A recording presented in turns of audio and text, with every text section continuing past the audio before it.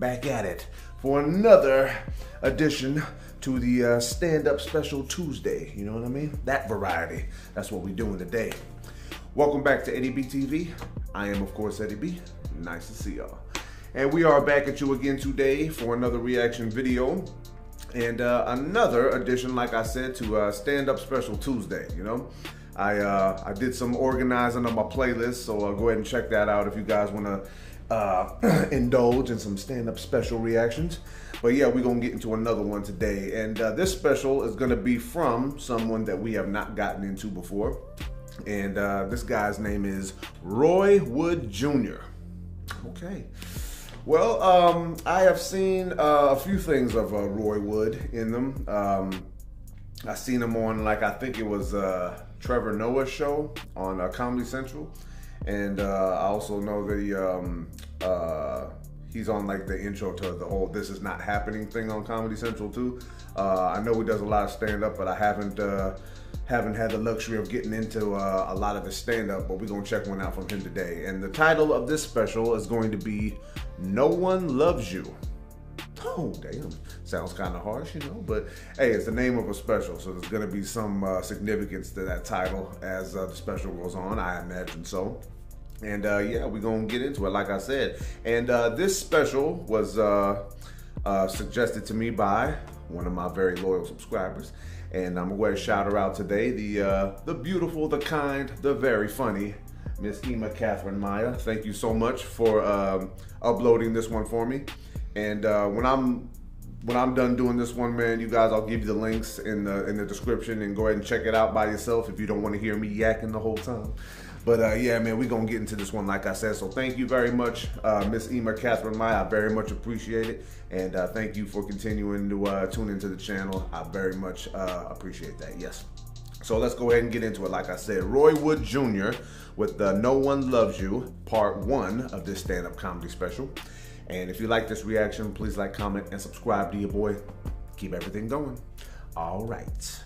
So, uh, yeah, man, I said I was going to keep this whole thing going, and um, I got some more specials in line to get to, you know. Keep the suggestions coming, you know, if you guys want to see something uh, for yourself, you know. Hopefully it's something I haven't seen before. But, uh, yeah, man, we're going to get into this one. Let's do it. Roy Wood Jr. with No One Loves You, part one of this stand-up comedy special, right here on Eddie B TV. Stand-up special Tuesday. Let's have fun with this one. and thank you one more time, Miss Ima Catherine Maia, very much so. All right, let's get situated with this one, and here we go.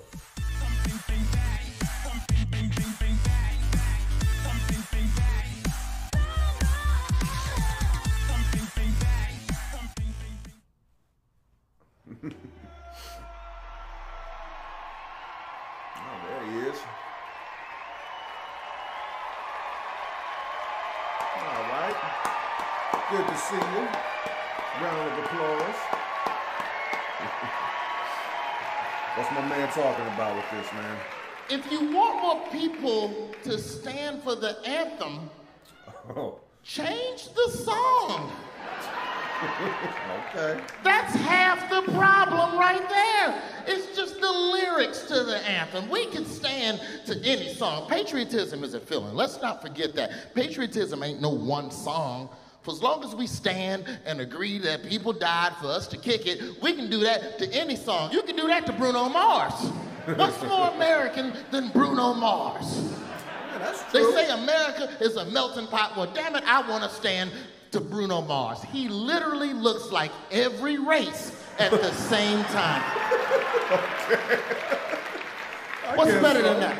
What's more American than us standing with a Hawaiian, Mexican, white, lesbian, Jewish man Stupid. to honor the troops? Oh, man. That's nuts. Ladies and gentlemen, we ask that you please rise as we sing our national anthem, 24 Karat Magic. Remove like your hats song. and put your pinky rings to the moon at this time.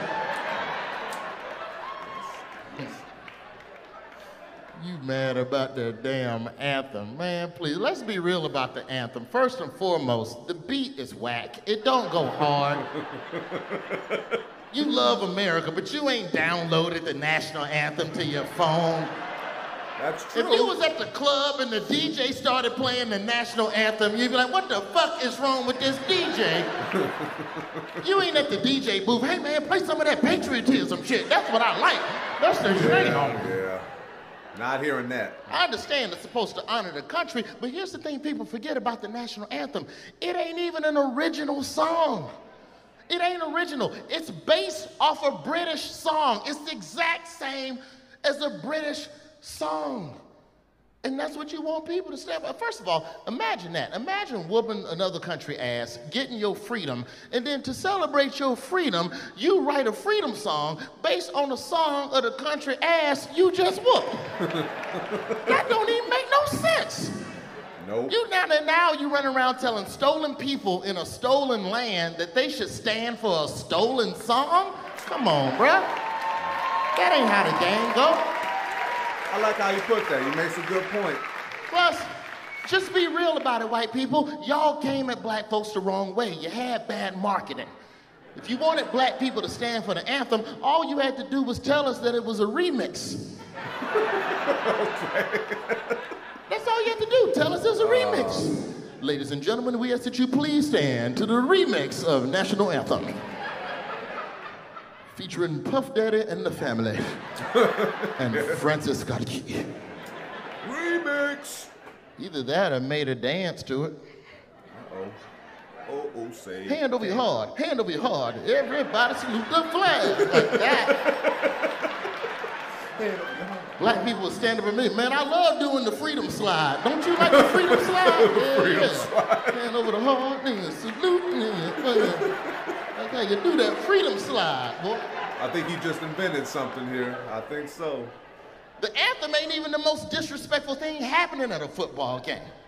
The most disrespectful thing is when they bring a troop out, let us clap for them, and paint the illusion that they actually care about the veterans. That's the real BS. Yeah, yeah, yeah. Every game they do that, right? They, they, they, bring, a, they bring a troop out, let us clap for them, but they don't want to talk about the, the, the issues affecting the troop. They bring him out. Ladies and gentlemen, we'd like to turn your attention to the field as we welcome home Lieutenant Colonel Commander, 5th General, Submarine Driver.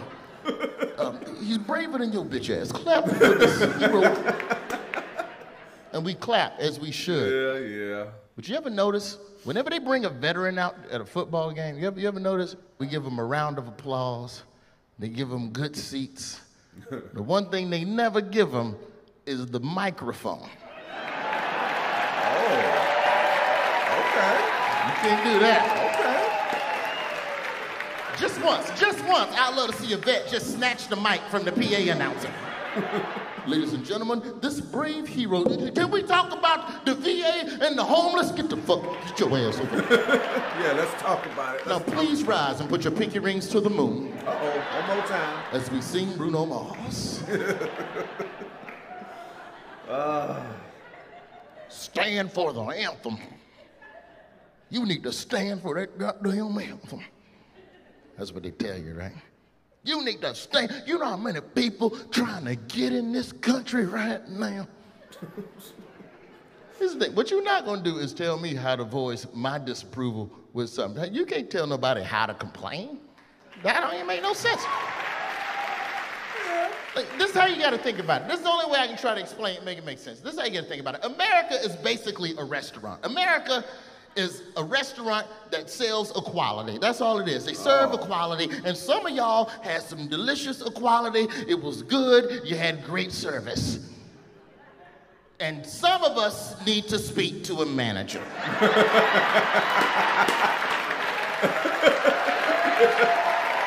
Oh, that's funny. You telling black people to stand for the anthem, that's the same as walking around Applebee's telling people not to complain about their food. How you get to dictate how somebody else complain about their situation? You may as well just walk around Applebee's. You need to be happy that you even in this Applebee's. You know how many people outside trying to sneak in this Applebee's? we had to build a wall around this Applebee's. Uh oh. And I'd be like, yo, man, you need to calm your ass down. Get your facts straight. First off, Uh-oh. I was at Red Lobster minding my business. Y'all brought us to Applebee's. Applebee's has rats. Chicago, how you doing?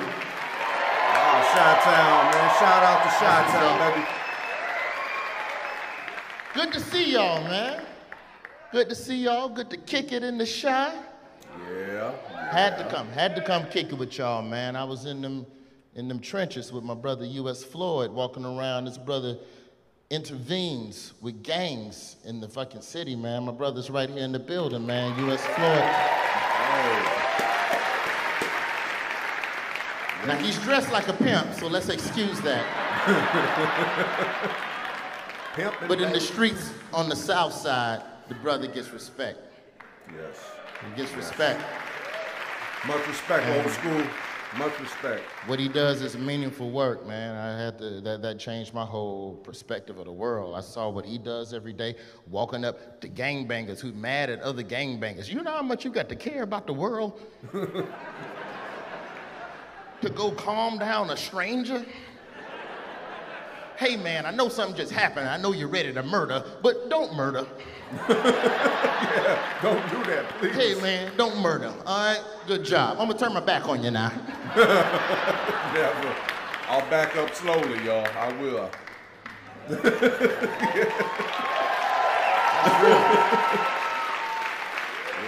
I ain't gonna turn my back on no I don't know what they're gonna do between us and the police. This shit is getting hard. Every day, police might get called on you while you're trying to get coffee. Police might get called on you while you're trying to barbecue. Police might get called on you while you're trying to mow the yard, take a nap, sell some water. At this point, if you black, the safest thing you can do every day is just call the police on yourself. I mean, the white people gonna call anyway, so you may as well take the power back. Control the narrative.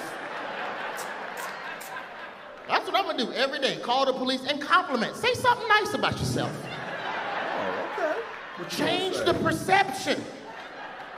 911, what's your emergency? Ain't no emergency, it's just a smooth motherfucker headed to Walgreens. Oh yeah. All right. just checking in. I like that. Red jacket, white pants. Don't shoot me. All unit be advised, male black Walgreens, respond code. I don't know. I don't know what the what, I don't know what you do. Move too slow, you might get shot. Move too fast, you might get shot. Don't move, you wasn't obeying commands, you might get shot. I don't know. Yo, at this point, like, I ain't gonna tell y'all how to dress every day so you can feel safe, but I'm gonna start wearing a cap and gown everywhere I go. Until things cool off for a little while. You ain't never felt threatened by somebody in a cap and gown. Not never. Cap and gown is like a wedding dress. You see somebody wearing it, it make you happy. It change your mood. So that's what I'm gonna do. Until we get some real police reform, I'm wearing a cap and gown every day with a with a fucking with a middle school diploma in my back pocket. a middle school diploma and an engagement ring. It's gonna be the saddest story. Cause you ain't gonna sweep me under the rug. Ah. Cause this was crazy. We live in a time now where if you get shot on the wrong day, you might not even make it in the news. They'll sweep your story all the way to the back page. Damn that. I'm gonna be on the front. pa- If the police shot a 40 year old eighth grader, I promise you, it's gonna be a conversation about me. Oh man. Y'all better ride for my ass. Oh, we riding with you, bruh. In another news today, police shot a 40 year old eighth grader. he survived by his three ex wives and six children. Oh hell no. Send a prayer up for Mr. Charles. oh man, he's funny with that one though. Graduation. Pay cops more money. Money is part of the solution. It ain't the only solution, but it's part of it. Here's the thing we love to act like all these good cops just gonna all step up and do the right thing together. Please, most people don't do the right thing for the right reason, they do the right thing for the right price. Oh. It's about the real. money. And don't get me wrong, there's plenty of good cops out there, man, but not enough to affect change. You got to do something to incentivize. You got to break bread. And don't, and don't tell me you ain't got the money to pay cops more. Every time somebody get hit over the head, you got to pay a settlement. So take the money you would have paid for a settlement and just put that in the cops' pockets. And they might care a little more. At minimum, just set up a snitch fund. Can we do that? snitch fund. Now, okay, don't pay every cop more. Just the cops who snitch on the other cops. That's oh, okay. who you pay. A hundred thousand. Hundred thousand per snitch. You got police departments paying 200, 300 million a year. You put 100,000 per se. I, I promise you, if you started giving cops 100,000 to snitch on other cops, they would be arresting each other at roll call. All right. Immediately. You wouldn't even make it out the police station in the morning. Put your hands up, Sanchez. I saw what you did, Sanchez. I gotta get a hundred thousand. Shit, I need two hundred thousand. Arrest me too, Sanchez. we got to go down. Put a hundred thousand on it. It'll change everything. I promise you. Because you ain't gonna break through that thin blue line just off of morals. Mm. Real cops don't snitch on other cops. Real cops stand tall. You, you, ever notice all that brotherhood fraternity shit? It's for jobs where you're underpaid and nobody appreciates you. So, so it, it, it's cop and school teacher and military, it's uh, firefighter. It's all these jobs uh-huh. where you do dope shit, but no one respects you. So they've tricked you into thinking that fraternity is a substitute for currency, and it ain't. Mm. Pay them. Give them some money. Okay.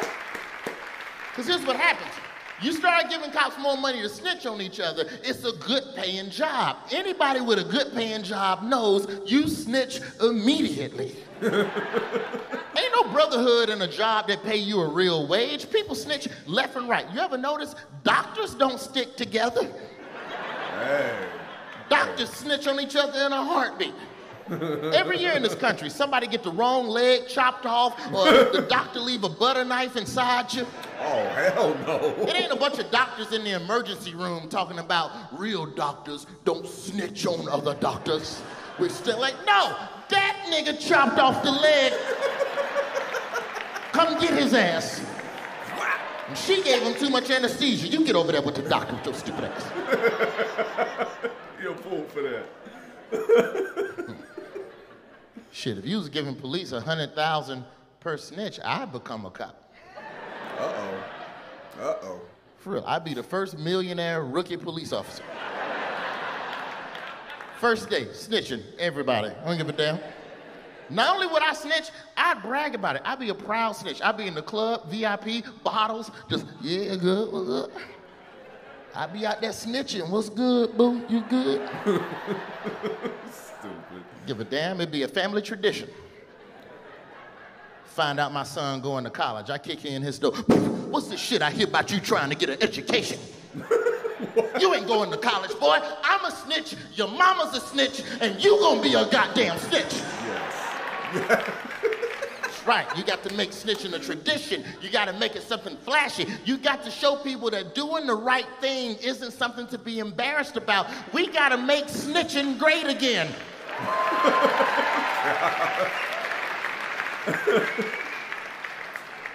that might not be the best slogan.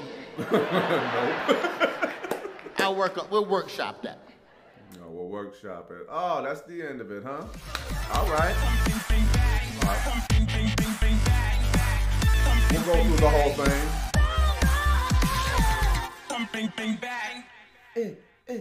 Oh, yeah. All right, man, that's gonna be a wrap on part one. Well, my man was talking about some real stuff, man, you know, can't argue with that. But now here comes the unpacking, shall we? All right, that was Roy Wood Jr., y'all, with uh, No One Loves You, part one of this stand up comedy special. Well, let's get right to it, man. Um, I'm not really a good American. At least not by my standards anyway, but I'm certain every I'm certain everybody else's. Um, I always had the brain of an extremely curious person. I was never satisfied with anything that I was ever told from anybody. Okay, and that's down to the to the to the last person in my life, man. And even my my grandfather, man, he rest in peace, man. I didn't even take seriously everything he said, and he's the one person in this world that I respect more than anybody. All right, so what does that tell you? But you know, one thing that I uh, did not take seriously at all from a young age to this very day, that when I'm sitting here in this chair, I don't care about patriotism. Uh, I don't care about the American flag. I don't care about the national anthem. I don't care about those things. All right. Um, for some reason, to me, um, taking that serious not only made my life uh, not so good at all, but you know, it, it just it, it, just really highlighted some things that just really bugged the living hell out of me. Like uh, patriotism was th- was something that bugged the hell out of me. Um, the national anthem, the Pledge of Allegiance, and all that stuff. Um, what else used to bother me a lot? Authority figures bug the hell out of me because one, they always tell you respect authority, but authority can lie too. So what's the point of respecting them just just because you say so? No. Uh, I just I don't understand what's the big deal with it. You know, it's uh, I I'm reminded of something that George Carlin said one time in one of his specials. He said that he doesn't get all choked up about. Um, uh, American flags. He said ribbons and flags. He says, um, let me see if I remember this right. Hopefully I said it right. He said he considers them to be symbols and he leaves symbols to the symbol minded. I love that line, man. You know, I just, nobody is running this country correctly. You know, I'm, i doubt they ever will. You know, and so the the fact that no one's running the country correctly, but you ex- but you expect the citizens to run their lives correctly, you know, it's kind of like a, a hypocritical thing you know, even though they say that, you know, uh, the politicians are elected by the people, I don't believe in elections either. You know, I mean, I'm not on some conspiracy theory nonsense, but I just don't think it's it's it's worthy. You know, I think us, the citizens, voting for who our leaders are is one of the most ignorant things I've ever heard of, and I'll tell you why. Because the average citizen is not very intelligent by a long shot. You know, I fall in that category as well. You know, I only have a 10th grade education. All right, that's because I got thrown out of every school I was ever in.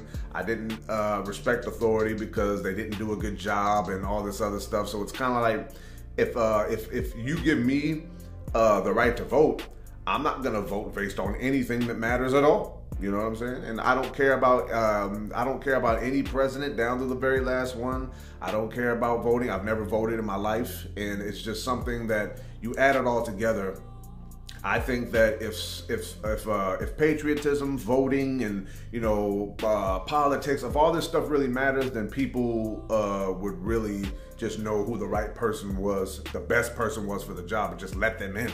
You know what I mean? The hell with all this voting bullshit.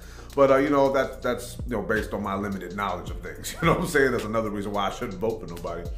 But uh, yeah, I don't care about the national anthem, man the fact that it was made such a big deal of, you know, with the whole thing start with like Colin Kaepernick, you know, and all that stuff is just, yeah, like you you took it upon yourselves to care too much about that. Please, man, you should be ashamed of yourself.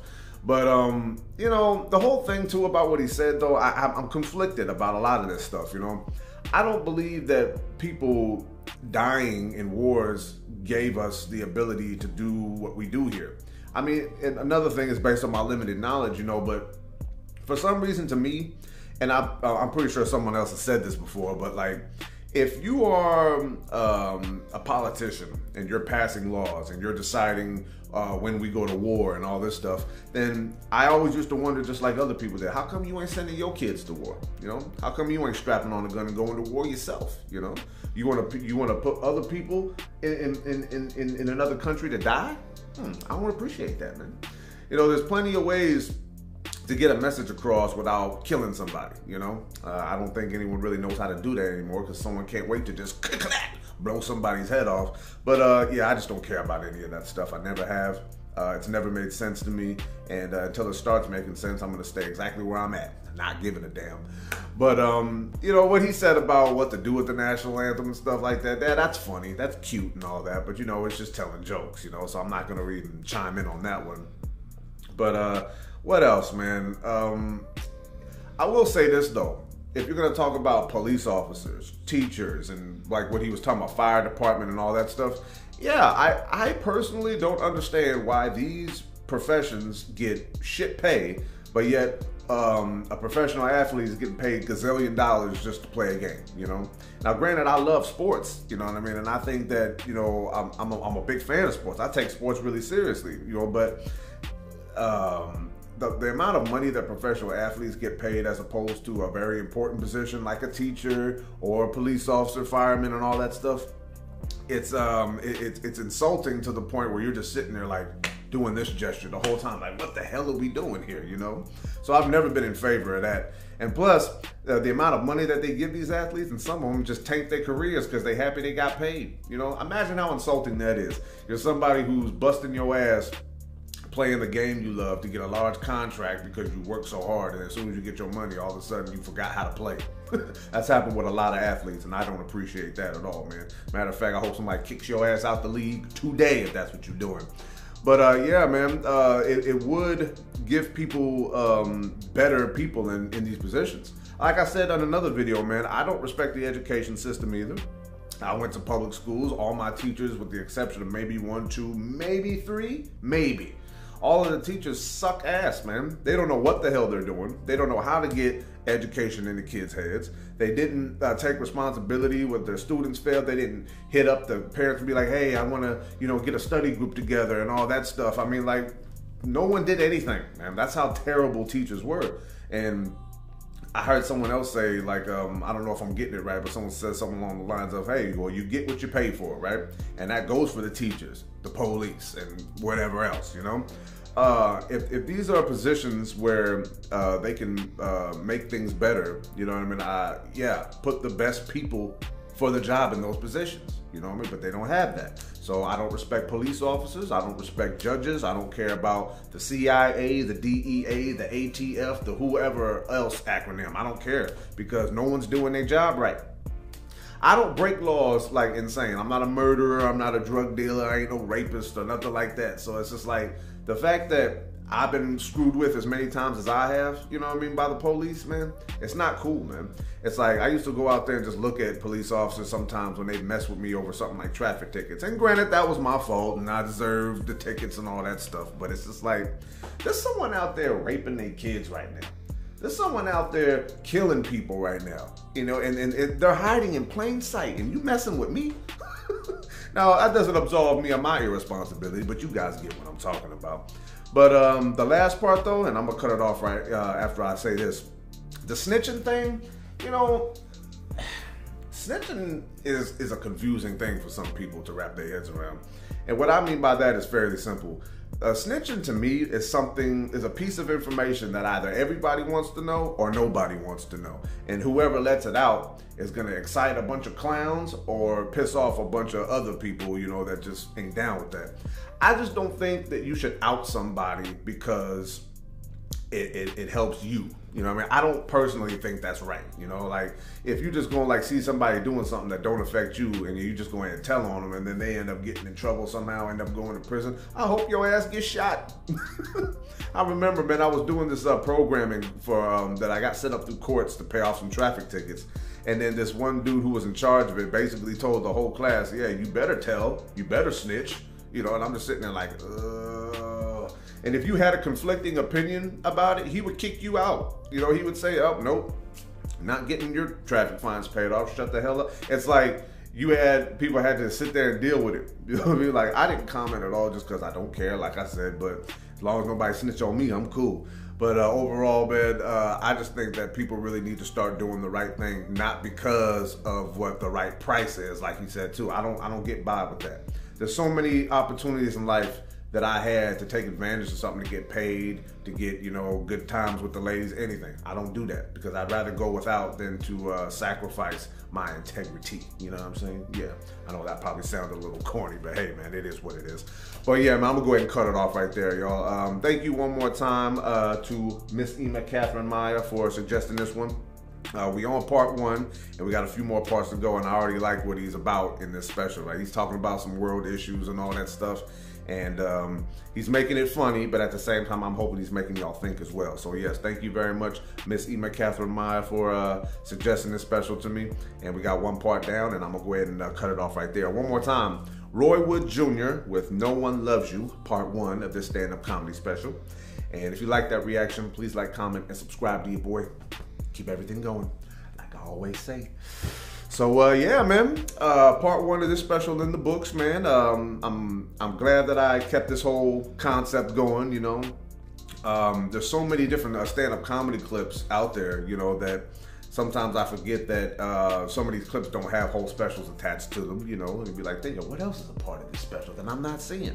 And then you got to go down this uh, area where you got to locate and locate. You know what I'm saying? But um, yeah, man. Um, I'm glad I kept this going, and uh, I'm gonna keep going. Is uh as long as I can until I run out. You know what I'm saying?